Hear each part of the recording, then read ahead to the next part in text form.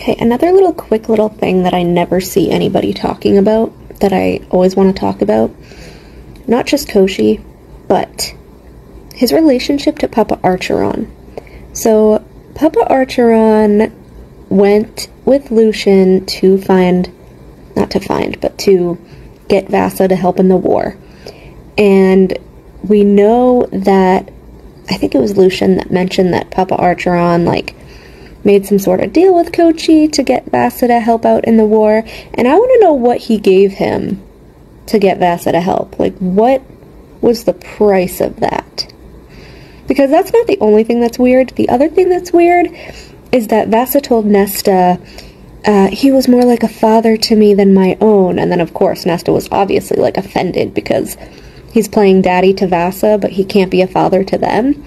And so I was thinking, like, how does Papa Archeron like have a father-daughter relationship to Vassa?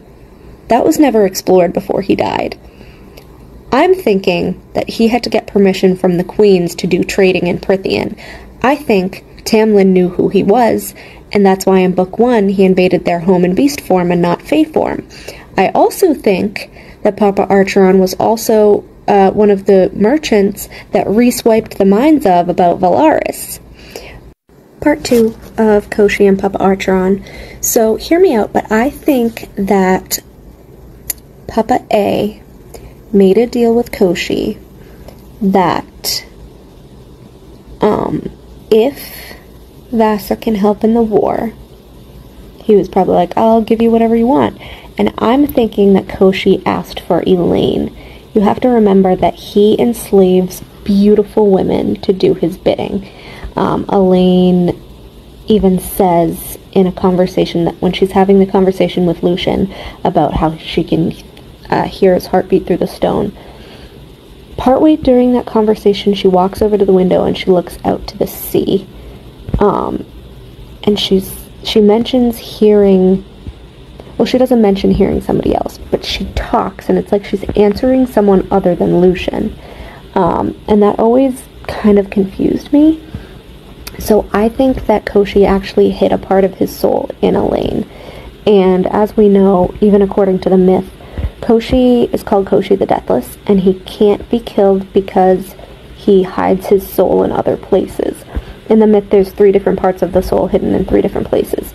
So I think one of those places is inside Elain, um, which is going to prove to be an issue. I think the second place is the little wooden rose that is actually on Papa Archeron's grave, that they laid on his grave. And I think the third place is within the fourth dread trove, which, if everyone's um, theories are right, could be the horn that is tattooed onto Bryce's back. So I think we're going to see a lot of this come up in CC3. Um, as for a part of his soul being in Elain, I don't think. Well, I don't know. I think that Koschei can probably control Elain with that in a way. I know that usually when he takes a woman captive, he like takes her back to his lake and that's how they serve him. Like Vassa, she's cursed to his lake during the day as a firebird.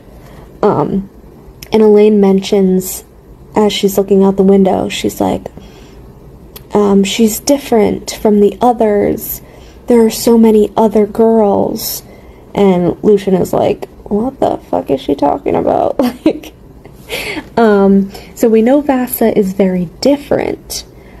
Um, and I have to wonder if that has something to do with Papa Archeron's bargain with him because we know that he loved Vassa like a daughter, um, which again is strange. Especially when Vassa told Nesta that, like, my heart just broke for her, because you, that's just. But I'm wondering if somehow within the bargain that he um part of the bargain was that Elain wouldn't have to live with Koschei, maybe? Um, I don't know. It's weird that Vassa and Elain are the only two females that he enslaved that don't have to stay at the lake 24 7. Um, Vassa is part time, and as far as we know, Elain hasn't visited him at all. Um, I don't even know if she is controlled by Koschei, but I feel like with all the clues we're given, that's the most probable outcome of what's been happening with her. Um, he would probably want a seer on his side for the upcoming war. Um, yeah, it's just. I think that he has some sort of control over Elain. And I think it's going to come to a head in um, CC3 or whenever the Koschei and Queen's War is. Part 5, I think I actually just had a breakthrough when I was going over the other part. So there's actually a part in, I think it's ACOSF, where Elain says that she's been speaking to an older, wiser Fae, and that could definitely be Koschei. We know that Elain can winnow from how she winnowed into the library and scared Nesta, and she winnowed behind the King of Hybern and stabbed him to death. And if she is tied to Koschei, Koschei and she has been talking to him, and she is partially controlled by him, this would also explain why she's been ignoring Lucien Because in ACOWAR, she's the one that asks him to move in with them. She's the one that is super concerned when he shows up with blood all over him. She's the one that always seems like she wants to get to know him, like she's concerned about her mate. And we see this huge 180 in ACOSF where she's ignoring him, she refuses to talk to him, like she doesn't want any part of him. But suddenly she's all into Azriel.